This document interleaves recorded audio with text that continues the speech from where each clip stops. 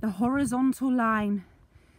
This is perfect for creating one of my watercolours and then using wet in wet for the washes, the baseline technique and then everything drifts up from it and then I form a drag technique for these beautiful winter trees.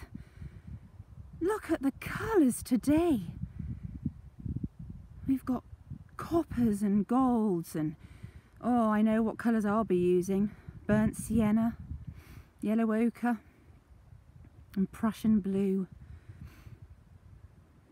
I'm back on the Stour Valley Way walk and we're just about to walk down to the River Stour and hopefully spot some kingfishers. We have the sunshine on us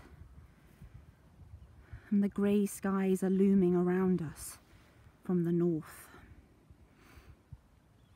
And just over there, through those winter trees, is Hambledon Hill, all lit up. It's a Neolithic fort and I've been studying it recently. So this would be perfect for me to paint.